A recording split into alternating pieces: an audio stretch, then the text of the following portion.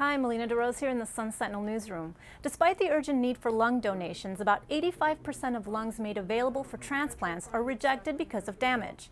Now, researchers in Toronto say a pre-transplant treatment has been shown to fix lung damage caused in the last stages of a terminal illness or by an injury.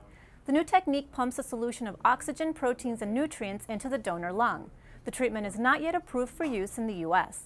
Learn more by going to sunsentinel.com slash SFL.